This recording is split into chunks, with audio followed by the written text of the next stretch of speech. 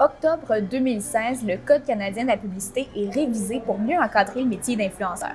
Avant cette date-là, c'était plus difficile de mettre le doigt sur ce qui était ou pas une publicité sur les réseaux sociaux.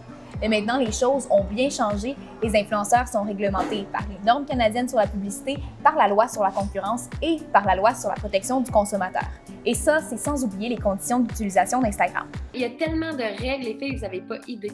Mais concrètement, c'est quoi qu'elles disent, ces règles-là?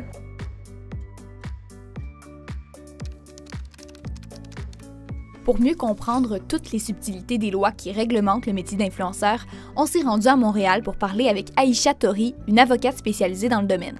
En gros, ce qu'elle nous a dit, c'est qu'un influenceur qui reçoit un produit gratuitement ou qui est payé pour en parler doit absolument mentionner qu'il s'agit d'une publicité. Et ce, dans les trois premières lignes de sa publication ou dans les premières secondes de sa story. Pour ce faire, il existe plusieurs façons d'indiquer. Ça peut être fait euh, textuellement, donc ce produit m'a été envoyé par euh, telle entreprise. Euh, ça peut être fait par des hashtags, mais si on le fait par des hashtags, il faut s'assurer que les hashtags sont clairs. Mais c'est quoi un hashtag clair? Selon la loi sur la concurrence, il faut éviter les abréviations ou des mots qui portent à confusion comme les hashtags collab, ambassadeur ou partenaire.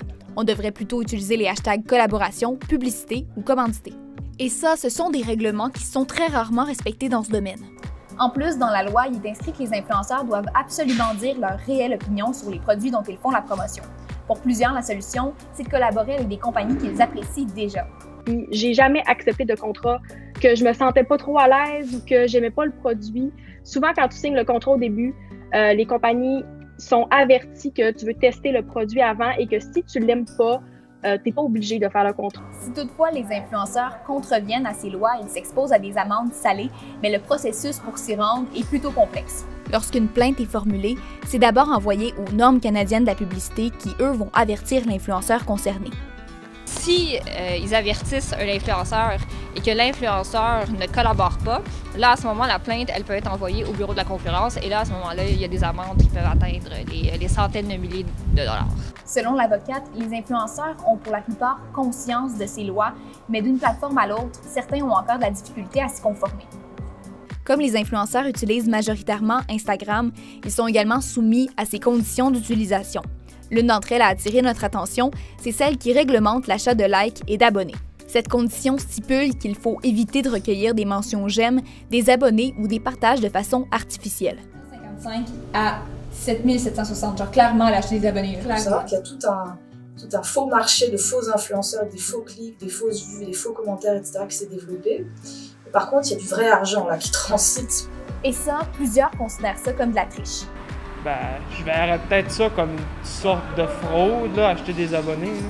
C'est pas moral parce qu'ils montrent euh, une image différente d'eux. C'est pas une vraie plateforme si t'as pas des vrais gens qui te suivent. Là. Ils ont une certaine tribune, surtout chez nos jeunes, donc euh, je pense que ça va montrer, euh, ah, ils sont vraiment fameux, mais dans le fond, euh, ils sont pas si fameux que ça, donc c'est mentir, dans le fond. Si vous pensiez que c'était tout, eh bien, détrompez-vous, il y a aussi toutes les règles non écrites d'Instagram ou ce qu'on peut appeler le shadow ban. C'est quoi ça, le shadow ban? C'est le fait d'être mis en retrait par l'algorithme Instagram, donc les publications ne sont plus mises en priorité dans les fils d'actualité des suiveurs et les influenceurs sont en quelque sorte bannis du réseau social, mais ils peuvent toujours continuer de publier et d'interagir.